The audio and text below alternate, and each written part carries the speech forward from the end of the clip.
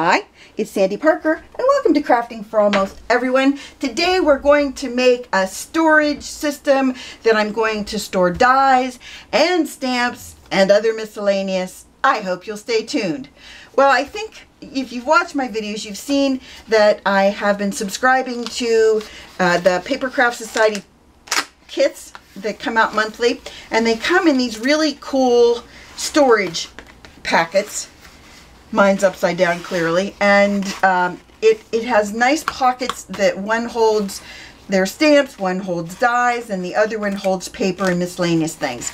And I think it would be really handy to start using these and labeling the side. This one I'm going to change to something that says like Christmas or birds.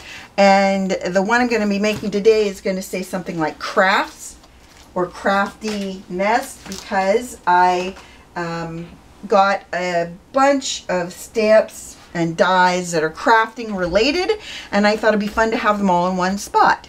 So with that being said, I made a template and I think we've got what we need. So the first thing you're going to start with, you're going to need three pieces of 12 by 12 scrapbook paper and you're going to want it to have a solid core on it which means it's going to be all um, that color through and through. If you cut it, it won't be white on the edge. And I'll tell you how you know if it's solid core or not. It says it on the packaging. But also, if you look in this edge, see how it's green the whole way through? If you get a paper that's not solid core, you'd see white there. Here is the paper pad I'm using. It's from American Crafts.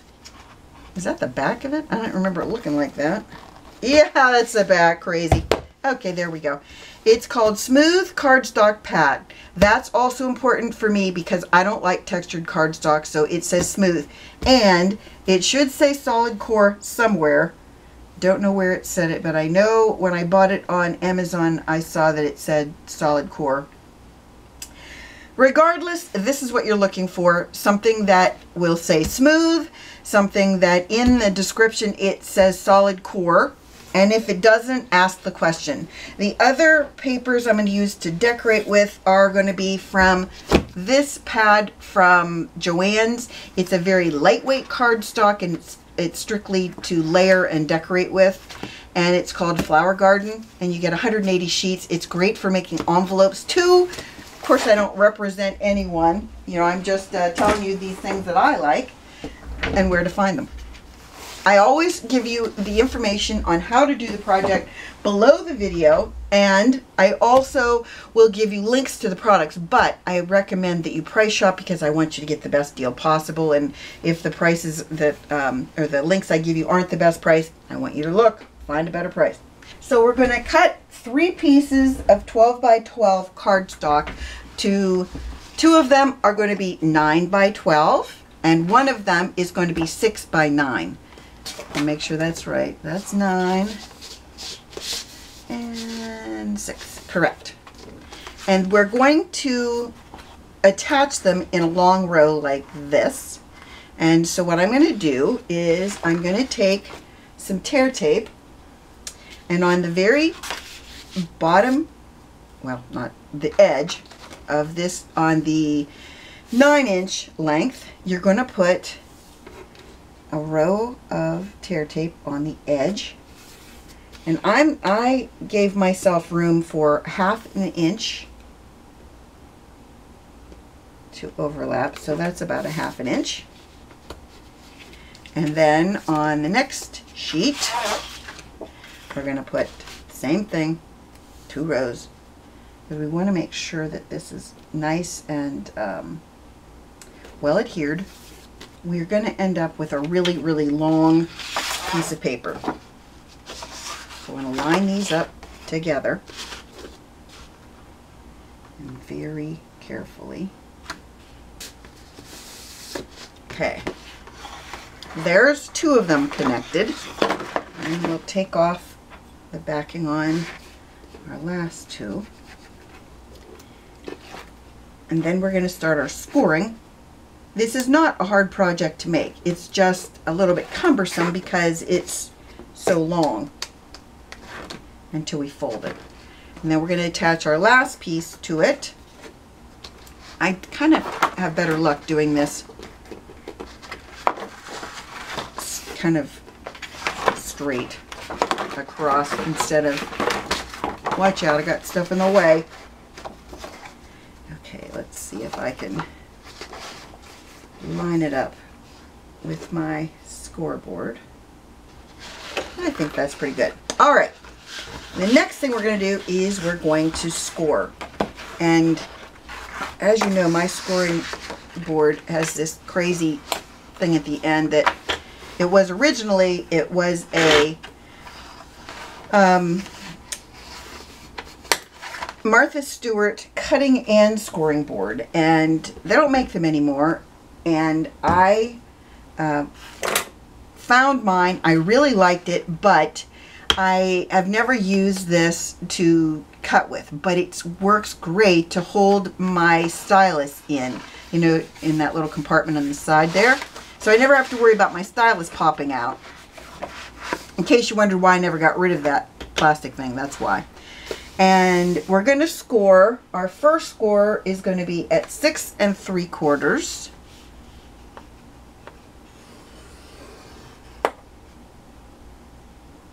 And 7. So from our second score, so I'm going to fold both of these scores so that we know exactly where they all are. Okay. I'm going to hold my paper on the second score. You got to, because this is so long, unfortunately, I'm sorry I have to do it this way. We've got it folded up to our second score. Okay? From that score to where we're going to score next, we're going to score at six and three quarters again. So hopefully you followed that. You want to make sure that your paper's in there straight and you're scoring again at six and three quarters. And then our second score this time is 7 and 1 eighth. So, ooh, 6 and 3 quarters, that's that one, and 7 and 1 eighth. Okay, then we're going to fold those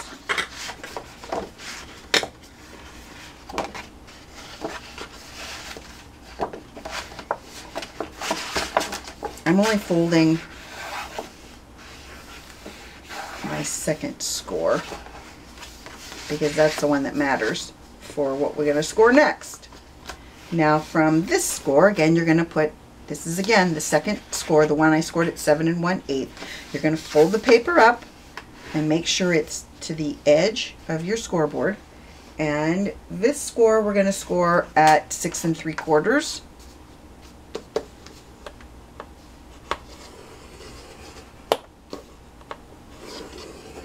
And seven and one quarter.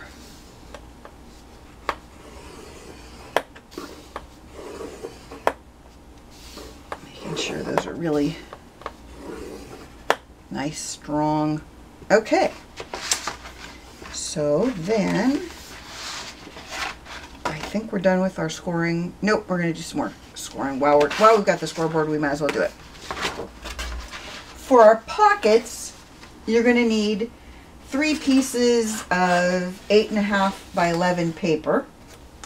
And I've cut these down to uh, seven and three quarters by, it's 10. Yeah, seven and three quarters by 10. On your 10 inch length at the very bottom, or top, depending on how you look at this. You're going to score at one and one quarter inch.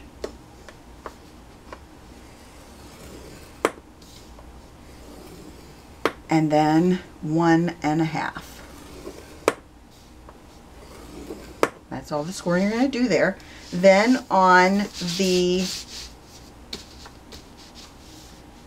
seven and three quarter inch length, you're going to score again at one and a quarter.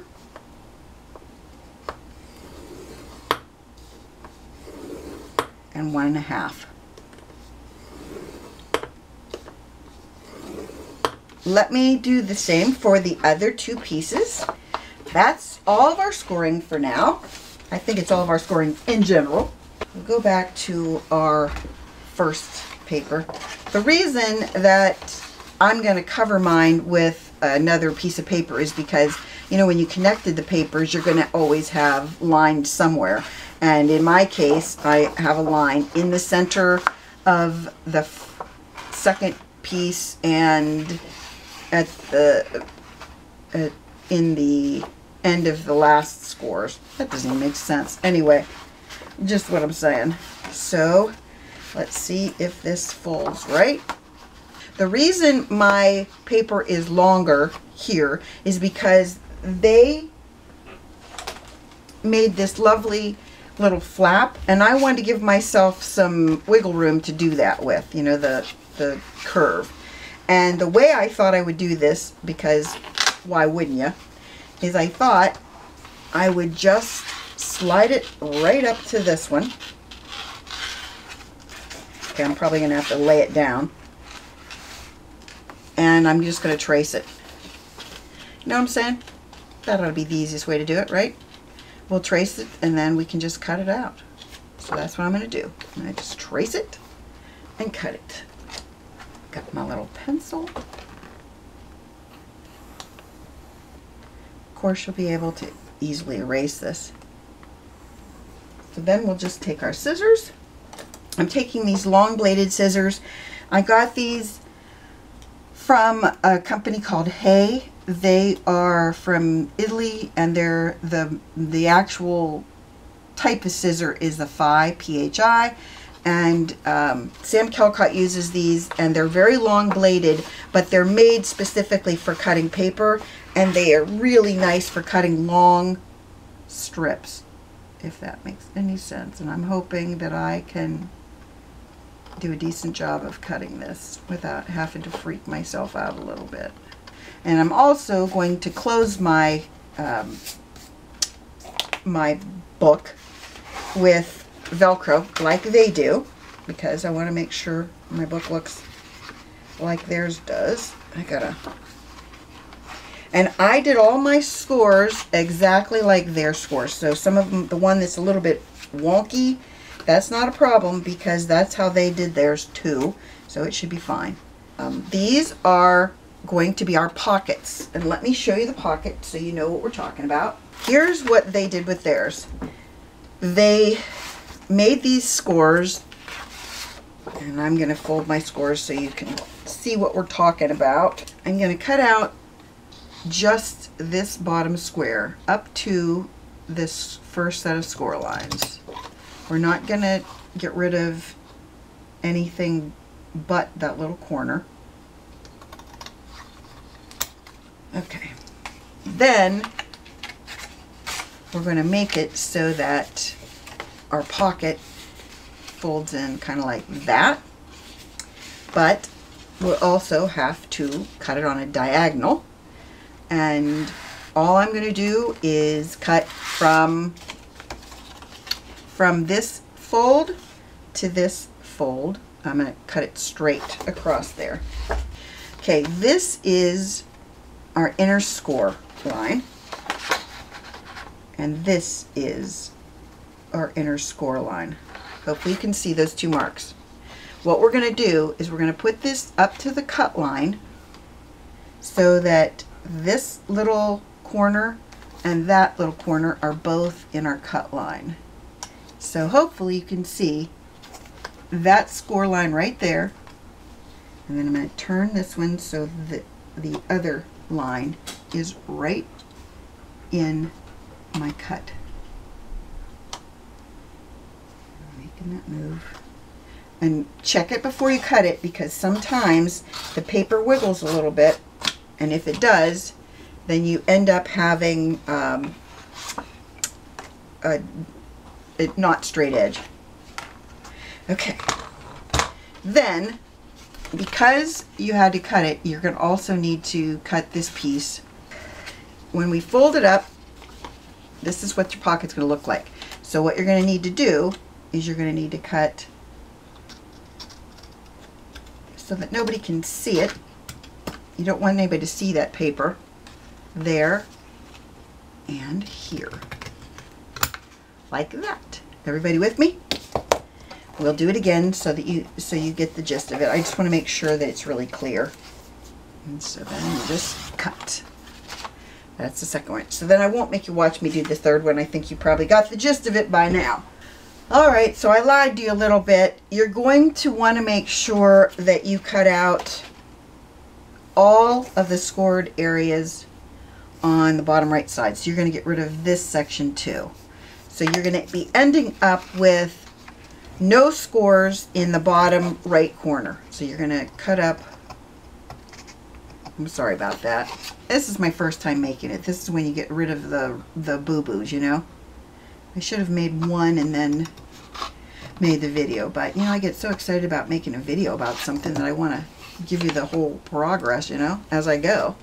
Then you want to fold it in on the second score. You want, you want to fold it so that you have both your four, folds, your scores folded. And you're going to just take your scissors and you're going to just kind of follow that angle. Same with the bottom. You're going to fold both of your folds like that. And then you're going to take your scissors and you're going to cut up to that score line. So those are our pockets. Now we're ready to basically put it together. We need to, I cut some papers that I thought would be pretty to surround the outside with. So the papers I've chosen are these leafy patterns. And I'm going to start with this outside edge. I think the best thing to do would be to just, um, because it's so lightweight, because it's so lightweight, you are going to uh, be wanting to put this on with a tear tape and a little bit of wet glue. You want to use tear tape because your paper is, my paper, is lightweight. And any lightweight paper is going to be really tough to get to lay down with wet glue and not look a little bit weird. It will be just a little bit wonky looking and you want to make sure that if you can avoid that, you do. So we're going to probably use, I think I'm going to use, beside tear tape, I think I'm going to use a um, glue stick because a glue stick won't leave that kind of bubbly look behind.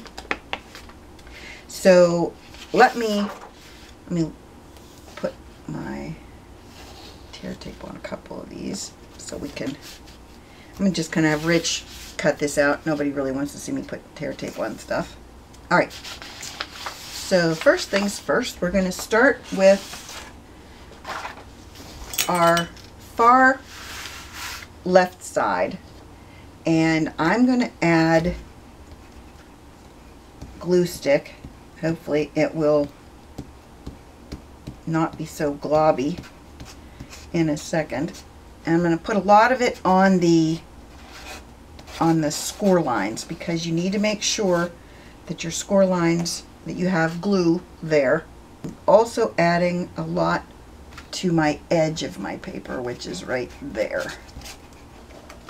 I'm going to put my paper going in this direction.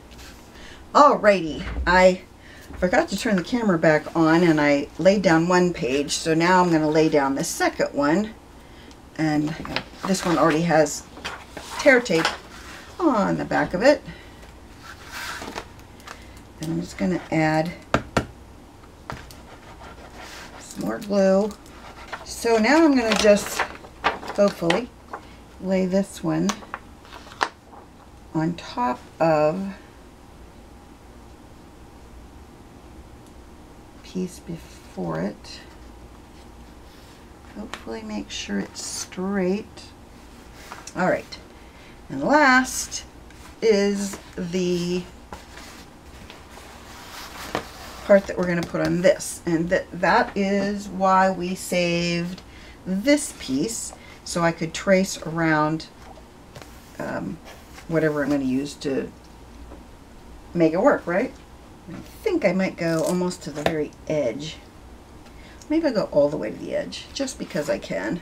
That I can just trim it from underneath if I go all the way to the edge. You know what I'm saying? I know, at this point, I barely make sense, right? I'm also going to decorate mine because on my side flap, the you know, like on the top flap, I've got um, a gap of the place where my paper attaches to itself. Nobody really wants to see that, do they? All right, I'm going to just trim this paper off. Okie dokie. We are rolling right along. Be using Velcro as my closure. I have these white squares. I think I might have gotten them from um, Dollar Tree. So the place you want to line them, put them in, is in this section. And I would say maybe about there. And then we're just going to close her down like that. And I'm going to let it sit for just a second. So to cover our pockets, I'm going to use this paper that I found in the paper pack that had the green paper in it. And what I decided I would do, here's my plan. I'm going to take my, this is my pocket, and I'm going to make my pocket so that all of the folds are folded flat down on it because I just need to be able to trace this once on one of these because all of my uh, all of my pockets are the same size and what I want to do is I want to lay this onto that and I'm going to put a little bit hopefully of tape runner stuck to my finger because I got some glue stuck to me that I can't seem to get off okay good I've got a decent amount of tape runner on there so what I want to do is I want to put it almost to the very edge, very slight border, like that. And then what we're going to do is we're going to take our pencil. I'm going to trace this on the bottom and on the side. But when I trace this, I need to go in just a little bit, like cut in it into the lines a very, very small amount so that I get a border. So hopefully you can see my pencil line. Can you see that pencil line? Now, if I can, and I hope I can, I'd really like to be able to cut these other pieces so that I can get the same design on the other two and hopefully that's a possibility or it's not. What I'm going to do is I'm going to fake this and I'm going to come back. I'll let you know when I come back if I changed up what I did before. Now what we're going to do is we're going to put our pockets in and be ready to roll. So the first thing I want to do, I've already put some tear tape on the back of my pockets. But I want to make sure that my that if I lay it down wrong, I can move it. And so I have little gaps here in the spots that I don't have any tear tape and I also want to kind of put it at spots that I think are going to be at risk. This here's my plan.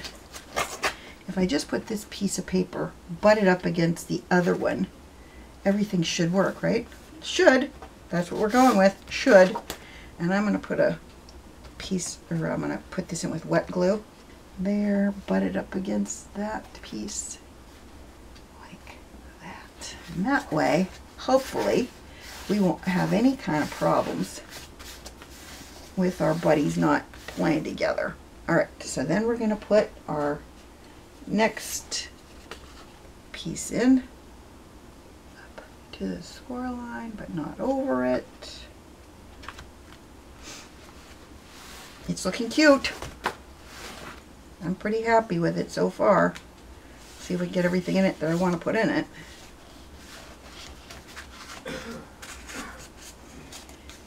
Okay. All right, now let's close her up. I think I should have put this um, Velcro further out. But anyway, that's beside the point at this point. You know, right now I've got to worry about something else. I'm going to decorate the front. What I decided to decorate with, I cut out this from the same paper pad. I thought it'd be fun just to do um, just kind of a something that I guess is almost unexpected. So I'm going to put that there. And then I have these little things that I thought I would glue there. And then I have this little butterfly that I thought I would put up in here where there's um, there's another line. Okay, so let's glue this down.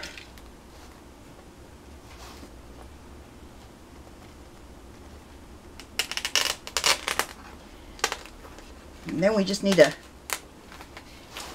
I should have used the small Velcro because this larger Velcro really fights me and doesn't want to, doesn't want to stay attached, doesn't want to, I probably should just figure out a way if I could cut it in half and maybe just use half of it because it's really, it's really fighting me.